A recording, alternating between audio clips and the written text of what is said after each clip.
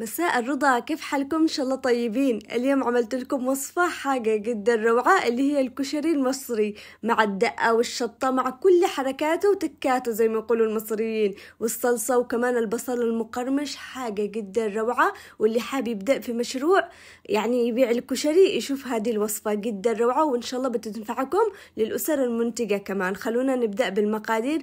أول حاجة بنقع العدس. أنا عندي عدس يسمونه أبو قبة أظن. فعملت كوبين من العدس بنقعه بماء عادي أغسله وبعدين أنقعه. أول خطوة بعملها تاني خطوة هي تجهيز البصل. لازم أقلي البصل لأني بستخدم زيت قلي البصل. الزيت اللي قليت فيه البصل بستخدمه لكل الطبخات. يعني أنا محتاجة. خلاص هنا قشرت البصل تمام وبدأ أقطعه رفيع زي الشرايح عشان بقليه طبعا أنا عندي هذه الآلة. الآن تعرفوا الآلات بدأت يعني تريح الواحد فهذه تطلع لي البصل شرايح رفيعة. لازم تكون زي كده الشرايح. شوفوا كيف. الآن إيش بسوي؟ طبعا البصل مع الحر هذا شوية يطلع ماء.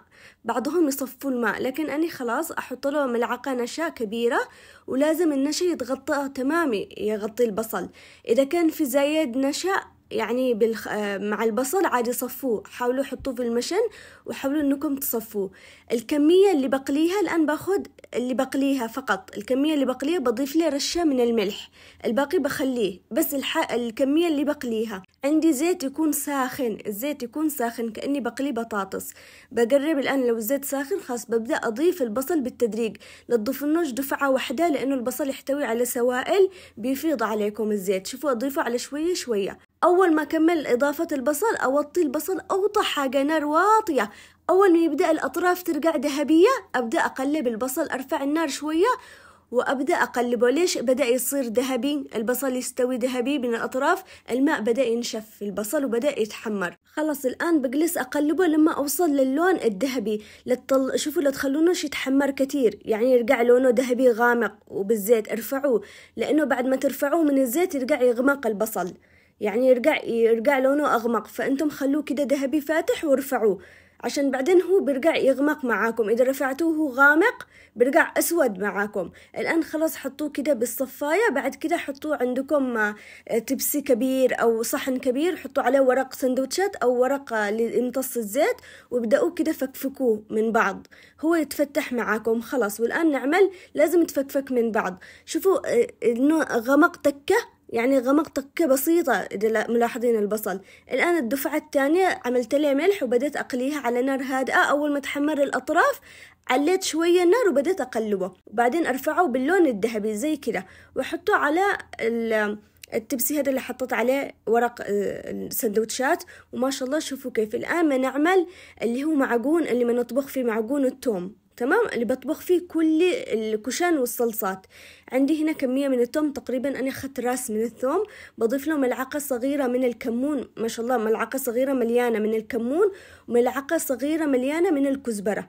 هذه البهارات فقط اللي بستخدمها لكل الكشري لكل الوصفة في الكشري. لما أحصل على معجون تمام؟ الآن ما نعمل إيش؟ بطحن الطماطم.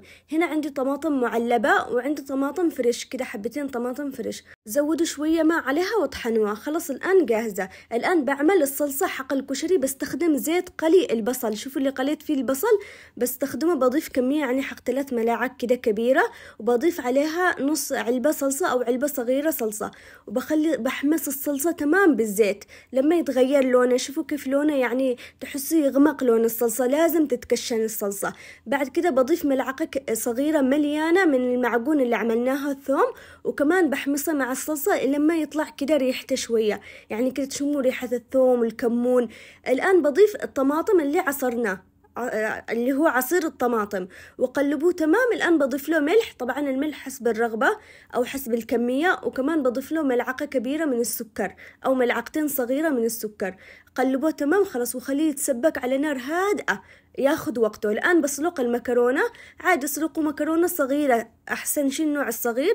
أسلقه على ملح بعدين أصفيها وأضيف له ملعقة كبيرة من زيت قلي البصل خلص والمكرونة الآن جاهزة. خلوها على جنب. الآن ما نعمل اللي هي دقة الكشري. اللي هي الدقة يسمونها الدقة.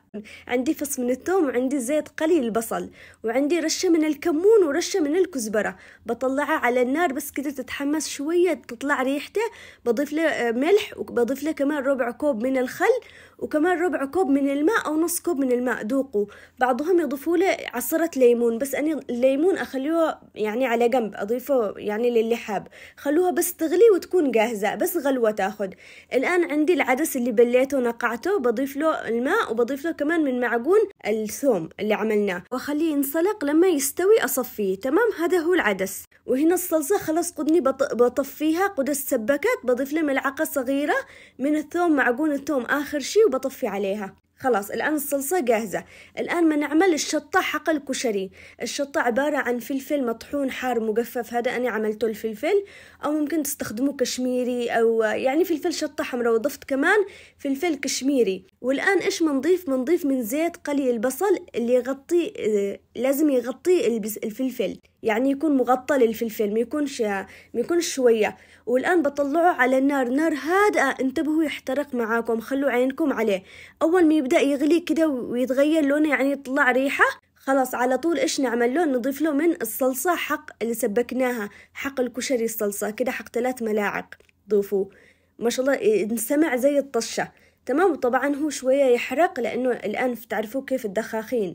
وضيفوا ملعقة كبيرة من الخل وشوية من الماء يعني ربع كوب من الماء خففوه. خلوه يغلي شوية بس يغلي خلاص تكون الشطة جاهزة. هذه هي الشطة.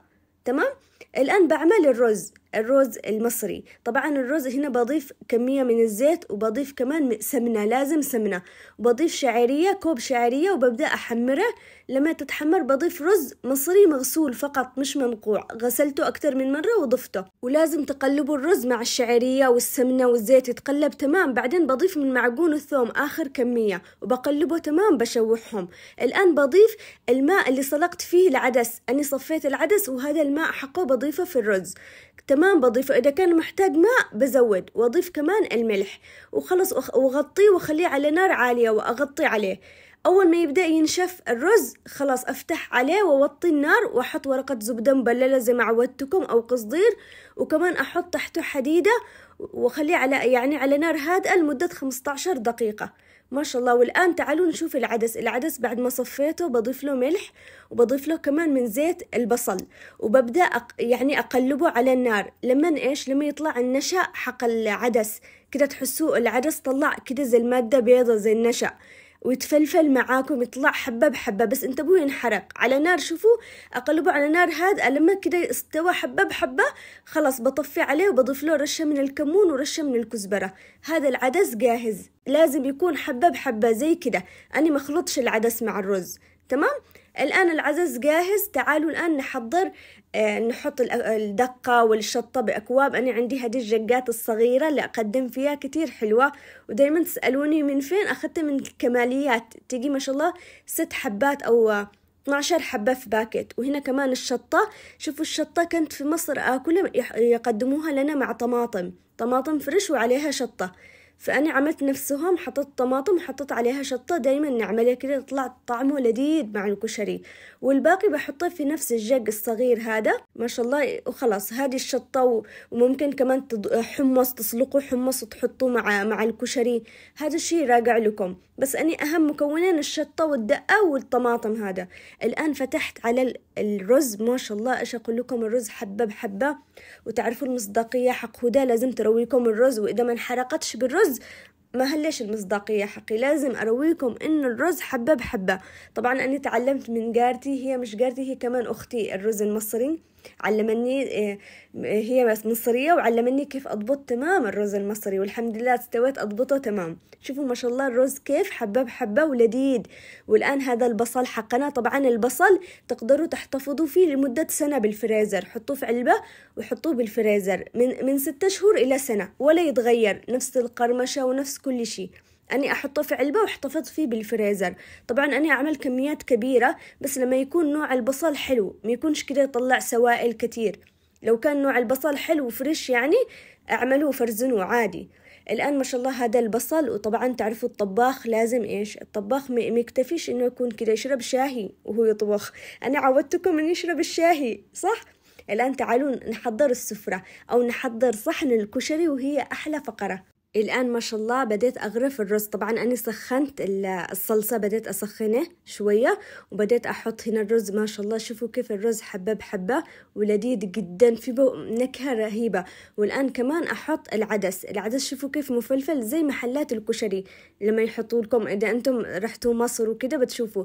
حطيت كمان المكرونة. شوفوا المكرونة مش معجنة ولا شي حبة بحبة لأنه عملنا له زيت البصل. وكمان الآن بحط شوية كمان من العدس من فوق كده للزينة. والآن إيش بسوي؟ بضيف الصلصة. إيش أقول لكم؟ الصلصة رهيبة ريحته روعة روعة روعة. طبعا صلصة الكشري تقدروا أنتم تتحكموا بقوامه. تشتوني أخف من كده عادي زودوا شوية ماء وخففوها. بس أنا أحب القوام شوية يكون كثيف. أنا مرات أكل أكل الكشري وأحس قوام الصلصة كتير خفيفة فما حبيش وهنا آخر شي حطيت من البصل رشة من البصل وكمان أقدم معاه بصل. يعني أنا حطيت آه، البصل كمان معاه وكمان أحط معاه من الصلصة للي حاب يزود يعني كمان.